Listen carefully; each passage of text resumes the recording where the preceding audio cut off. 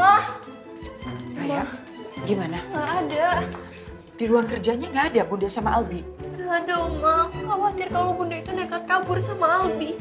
Soalnya semalam sikap Bunda itu aneh banget. Terus juga Papa belum pulang sampai sekarang.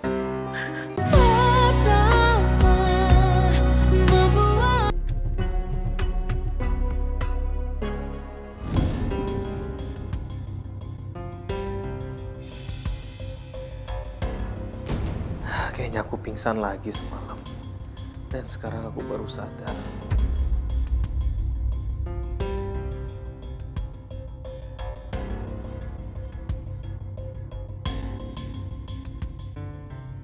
Aku nggak bisa terus di sini. Semua orang di rumah pasti lagi khawatir sama aku karena semalam aku nggak pulang ke rumah. Apalagi aku juga nggak sengaja ngabarin mereka.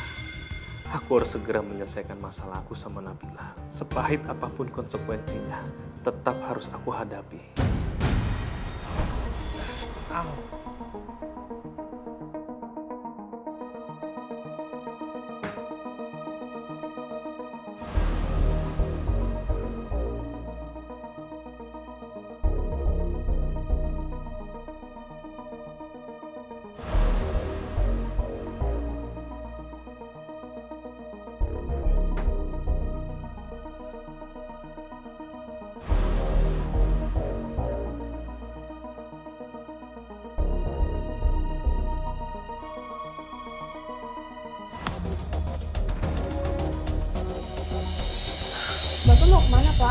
Kenapa Bapak sudah ganti pakaian? Ah, maaf sus, saya ada urusan yang harus saya selesaikan dulu tuh. Makanya saya nggak bisa lama-lama di sini. Tapi hasil MRI Bapak sudah keluar. Dan dokter menjelaskan langsung semuanya kepada Bapak.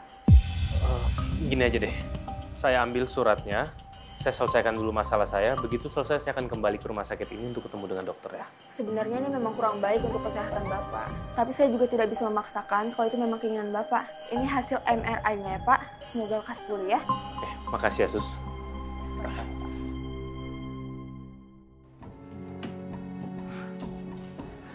Karaya, Oma. Emangnya Kalbi ke mana? Suruh cariin Kalbi di kamar. Gak ada. Soalnya Zuru mau ajakin Kalbi berenang. Karaya juga nggak tahu. Biasanya kalau pagi-pagi gini nggak sepi kayak gini. Bimumun juga biasanya sibuk nyiapin kita sarapan. Mungkin Kak Albi tidur di kamarnya Bunda. Terus Bi Mumun pasti lagi beli sayur di depan kompleks. Makanya nggak ada. Coba aku cek kamar bunda kali ya. Ya, Oma cek juga ke Pak Supri ya. Zuru ikut Karaya.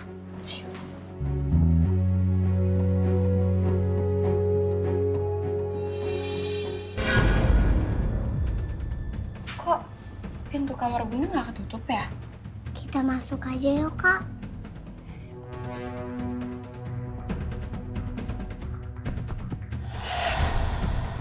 Bunda, Bunda, Bunda. bunda. Nggak ada Zura. Kok tumben ya Albi sama bunda nggak ada di rumah? Mana ya? Kenapa pada diem?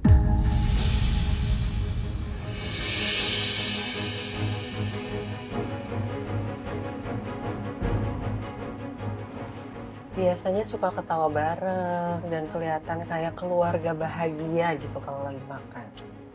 Terutama Mas Firman, Raya, dan juga Mama. Oh mungkin sekarang karena Mas Firman nggak ada di sini kali ya. Jadi pada nggak bisa ketawa-tawa bahagia kayak potret keluarga yang lagi happy gitu sekarang.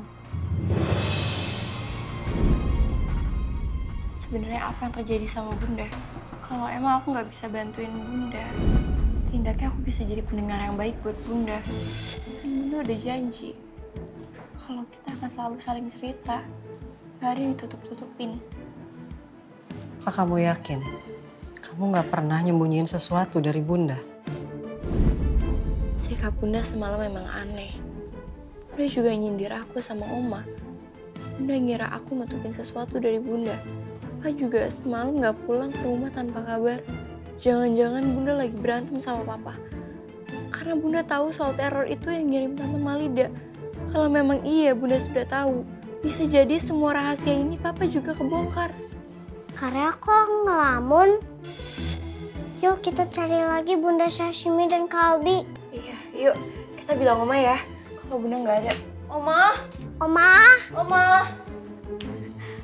Oma, Raya, gimana? nggak ada. Di ruang kerjanya nggak ada Bunda sama Albi. Gak ada, Oma. Aku khawatir kalau Bunda itu nekat kabur sama Albi. Soalnya semalam sikap Bunda itu aneh banget. Terus juga Papa belum pulang sampai sekarang.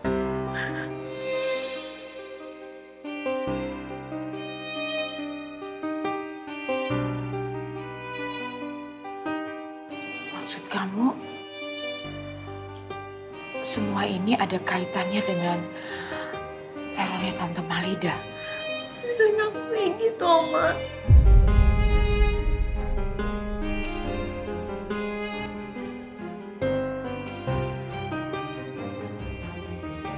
Tapi semua ini juga karena salah Oma.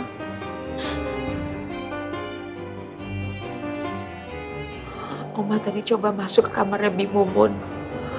Setelah Oma periksa, ternyata sebagian bajunya Bi Mumun juga udah nggak ada. Jangan-jangan Bi Mumun ikut pergi sama Bunda dan Albi. Fix. Albi Bunda sama Mimun kabur, Oma. Nah, sekarang kita harus gimana? Kamu tenang ya. Coba kamu telepon Bunda atau telepon Bi Mumun.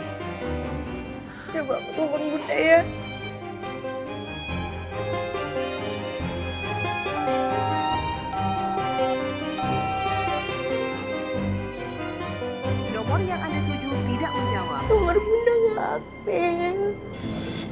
Aku telepon Mimun.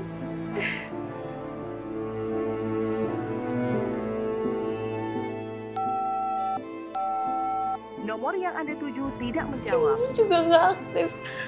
Aku khawatir banget kalau Bunda tahu tentang semua kebenaran ini. Karena aku ikut nutupin soal ini demi hubungan Bunda sama Papa. Oma juga bersalah. Oma juga bersalah dalam hal ini, Rai.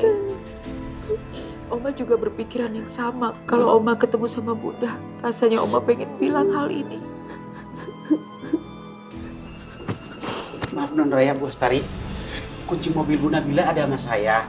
Dan saya sudah nyari Bu Nabila di sekitaran komplek karena tadi saya pikir Bu Nabila itu lagi jogging.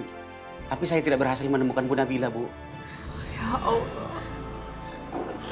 Sepertinya benar-benar Bunda kamu kabur sama Albi dan Bibu Mun. Kenapa kalau ada masalah nggak bilang baik-baik aja? Kita selesaikan dengan baik-baik. Ini kan rumah. Rumah Bunda. Oma di sini kan cuma numpang.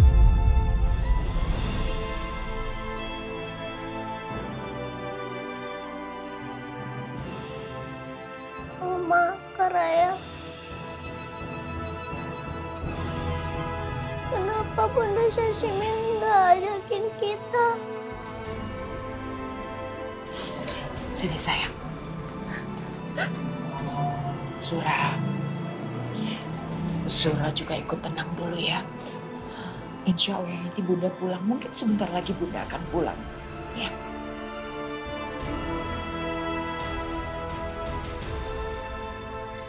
Aku harus cari Bunda sekarang. Raya, Raya tunggu. Kasih pikir jagain. Raya, Raya.